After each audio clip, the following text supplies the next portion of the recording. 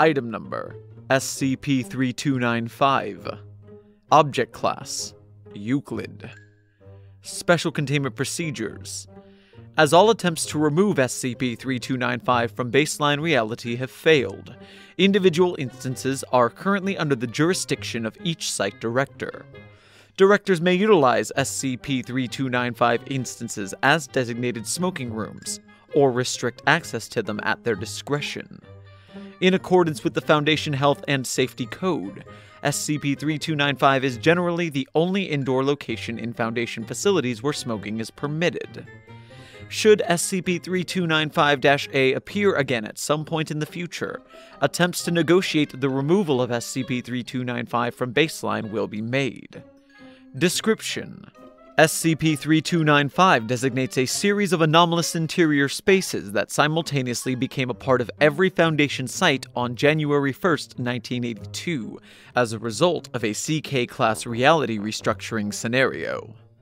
Labeled Designated Extra Universal Smoking Room, SCP 3295 mimic the design of other rooms in a given site, and are primarily distinguished by a localized wormhole that takes the place of an ordinary ceiling. Smoke produced by cigarettes or other combustible drugs within SCP 3295 will leave local spacetime via the wormhole and is subsequently transported to an unknown location. All other forms of matter are incapable of entering it. SCP-3295 instances initially did not absorb vapor produced by electronic cigarettes, but began doing so in January 2010. The reason for this abrupt change is unknown. Owing to its anomalous properties, persons can smoke inside SCP-3295 indefinitely without the risk of secondhand smoke escaping so long as the doors remain closed. SCP-3295 instances are both indestructible and self-replicating. Attempts to remove them from their location will result in a retrocausal reconstruction of time, such that the attempt appears to have never occurred. For example, if C4 charges were planted in an SCP-3295 instance and activated, the person who activated the charges would find themselves in a different location, and with no memory of having attempted to destroy the instance. SCP-3295 instances always appear when a new Foundation site is built. Upon interrogation, persons who worked on the construction of the site will be unable to recall how SCP 3295 was made, often attributing its construction to another employee. Attempts to prevent SCP 3295 from replicating via site construction will also result in the removal of those attempts from the timeline. Background and Creation in 1981, the Human Resources Committee proposed a revision to the Foundation Health and Safety Code, which would ban indoor smoking in all Foundation facilities from January 1982 onward. Despite mounting scientific evidence of tobacco smoking's negative health consequences, the Foundation struggled to implement restrictions on smoking throughout the 1960s and 70s due to heavy opposition from rank and file staff. After a contentious public comment period, the policy was approved by a 10 to 3 vote of O5 Command in July of that year.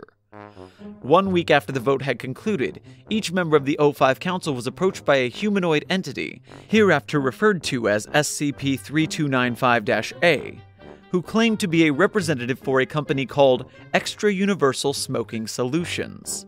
After a brief conversation, the entities handed each O5 member a business card and a five page proposal which outlined how SCP 3295 could be installed in every Foundation facility as an alternative to the indoor smoking ban. SCP 3295 A then demanifested, and the O5 Council subsequently called a meeting to discuss the incident. Accepting their proposal was viewed as an unnecessary and potentially dangerous risk given how little was known about the entities. The Council therefore agreed to store the documents in a high value containment locker and reject the proposal in a 12 to 1 vote. However, SCP 3295 was subsequently created following an unauthorized action from O5-6, the lone dissenting vote in the decision. A heavy smoker, O5-6 had been opposed to the indoor smoking ban and was said to be, quote, dreading the date it went into effect. Following the meeting's conclusion, O5-6 clandestinely secured one of the business cards, contacted SCP 3295 A, and signed a contract with Extra Universal Smoking Solutions on behalf of the Foundation. Said contract resulted in the insertion of SCP 3295 into the baseline timeline in their current form on the 1st of January 1982, the day the indoor smoking ban went into effect, with records indicating them as having been constructed during 1979 to 1980. As a result of his actions, O5-6 was dishonorably expelled from the Council and his clearance was reduced to level 2 for the duration of his career. After several years of unsuccessful attempts to neutralize SCP 3295, the current containment procedures were put into place in 1985. SCP 3295 A can no longer be reached via the contact information on the business cards they supplied, and the contract signed by O5-6 is still believed to be binding as of 2018.